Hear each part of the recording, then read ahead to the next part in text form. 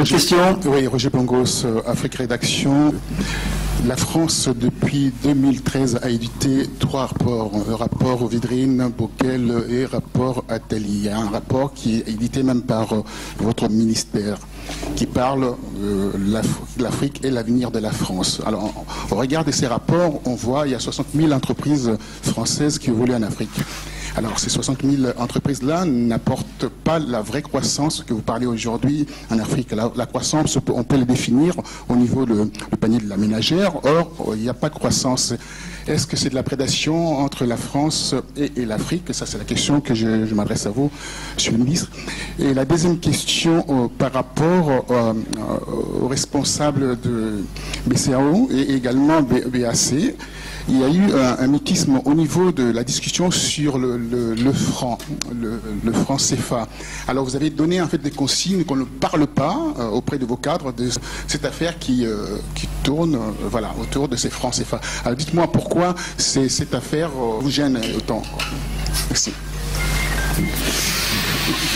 Bon, une question positive.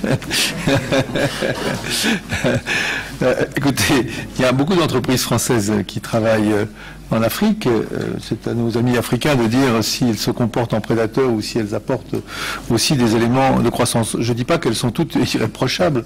D'ailleurs, une des demandes justifiées de nos amis africains, et je suis à leur côté, c'est pour employer des termes un peu techniques, d'éviter une érosion des bases fiscales, pour le dire autrement, que lorsque des entreprises agissent et font des bénéfices dans un pays, elles aient dans ce pays une contribution euh, au euh, budget, au financement de l'économie de ce pays. C'est une bataille que nous menons nous aussi vis-à-vis de telle ou telle grande entreprise euh, au nom anglo-saxon, par exemple, et qui se promène dans les nuages. Bien, nous avons cette bataille, et nous réussissons d'ailleurs en, Europe, y compris parce qu'on a des règles nouvelles, des échanges d'informations nouvelles. Nous, nous considérons que c'est une bataille qui nous est commune, et que permettre à des pays comme ceux-là d'avoir une base fiscale solide, à laquelle ils peuvent faire appel dans des conditions durables, c'est un élément fondamental de leur développement et de leur stabilité. Aujourd'hui, pour le dire autrement, le Fonds monétaire international, comme tous les observateurs, voit que ce qui est le financement par euh, l'impôt, au bon sens du terme, est une part très faible du financement des budgets de ces pays, par rapport à ce qui peut exister dans beaucoup d'autres pays.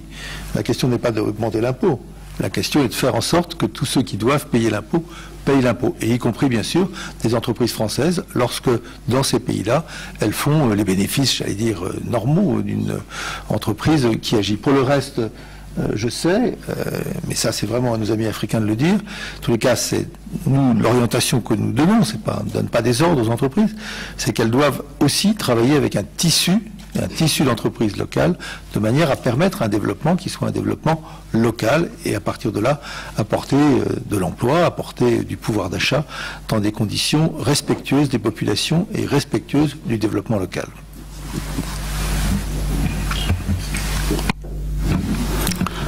Bien, en ce qui concerne l'autre question, euh, je ne sais pas, je pense que ça doit être la même chose pour mon, mon collègue de la BEAC, je ne pense pas qu'il y ait eu euh, des indications ou en tout cas qu'on ait interdit à qui que ce soit de parler du franc CFA. Je pense que le, problème vient de ce, que, ce dont vous voulez qu'il parle concernant le franc CFA. La règle générale, c'est pour, pour répondre à des déclarations euh, qui sont faites ça et là pour dire le franc CFA est ceci, le franc CFA est là, et cela.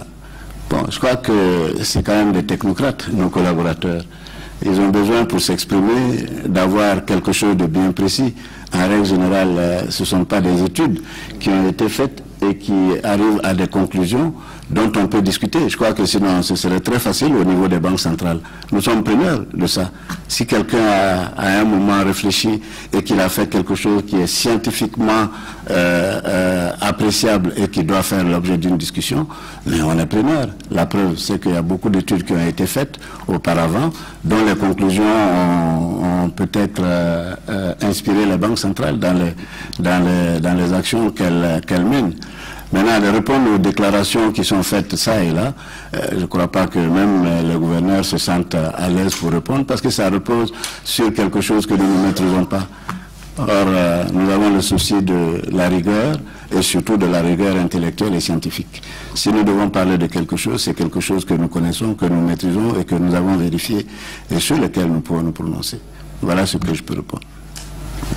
Merci, Monsieur le ministre. Ajouter ensuite la dernière question. Un, tout petit point à ce que vient de dire mon, collègue de la BCAO que je, partage. Parmi les études que vous avez citées, nous menons régulièrement des études économiques pour voir si le franc CFA est, dans les deux zones, surévalué ou sous-évalué par rapport à son niveau économique de très long terme. Et aujourd'hui, notre réponse est très claire. Avec ces études, les francs CFA ne sont ni surévalués ni sous-évalués. Et je crois qu'au contraire, ça agit comme un mécanisme de protection un peu contracyclique. Ça évite que quand le prix des matières premières est haut, le taux de change s'apprécie trop. Et ça évite à l'inverse que quand le prix des matières premières est basse, le taux de change baisse trop, ce qui aurait des conséquences d'inflation très fortes. Dans les chiffres frappants que nous avons vus ce matin, c'est le fait que des grands pays pétroliers d'Afrique, je n'ai pas besoin de citer de noms, qui ne sont pas dans la zone franc, ont aujourd'hui des inflations domestiques à deux chiffres très spectaculaires. Ça, c'est évidemment une très mauvaise chose pour, pour, le pouvoir d'achat. Je vais peut-être dire un mot tout simplement pour dire que euh, les économies de nos pays, euh, même pour ceux qui sont sous programme du fonds, qui ne sont pas sous programme du fonds, font l'objet d'analyse par plusieurs partenaires. Et je vous assure que si le problème du franc CFA était aussi débordant que cela, je crois que nos économies seraient interpellées. Parce que ces économies-là sont dans le monde. Et, euh, elles, elles, prospèrent ou elles ont des difficultés, mais cela ne se cache pas. Comme l'a dit le gouverneur de la Banque de France, euh, nous menons aussi des, études, mais ce sont des études que nous ne publions pas parce que tout simplement nous pensons qu'à un moment ou à un autre ça nous sert dans nos actions. Mais c'est pour dire que euh, ce qu'on prétend du franc CFA, euh, s'il était avéré, alors je crois qu'il y a beaucoup de voix et, parmi ceux qui apportent effectivement à nos économies qui s'en inquiéteraient. Je ne dis pas qu'il n'y a pas de difficultés, mais les difficultés pour l'instant ne sont pas de ce côté. Voilà.